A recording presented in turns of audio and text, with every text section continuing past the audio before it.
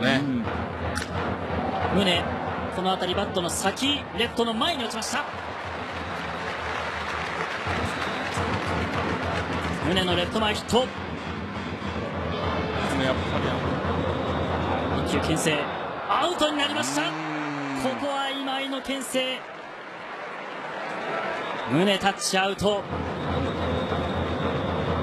変化球打ち返して、レフト、レフト、もう見上げた今シーズンの第5号パ・リーグ単独トップに立つ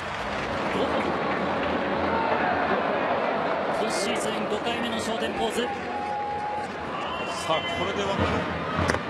あこれも外に抜けましたね。よく合わせました。センターの前へ。落ちました。ゴンザレスは二塁ストップです。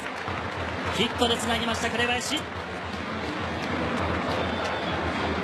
一軍昇格後昨日はヒットはありませんでしたが今日はこの好投手今井からうまくバットを引っ掛けたあっとボールを弾いた。それぞれランナーが進塁。ゴンザレスは三塁ストップです。9番の茶野。打ち返していきます。ピッチャーの頭を越える。セカンド外崎処理しますが一塁はセーフになりました。三塁ランナー帰ってきて3対2茶野の足そして外崎の送球がそれる中でワンバウンドになった中で。打った！センターへ！センターの前に落ちました！二塁ランナー三塁に向かいます。同点！太田3本目のヒット猛打賞！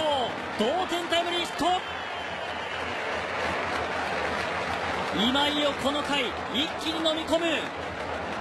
オリックス打線！一気に同点に追いつきました。バントの構え。セーフティーバント。三塁ランナー帰ってきました。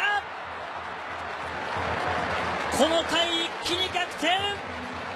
西野のセーフティーバント。打ち返してライトの前。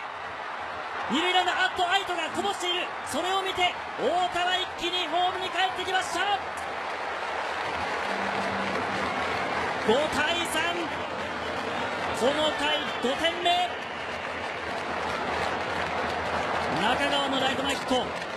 愛斗が少しパンプルをする中で一気に太田が帰ってきました。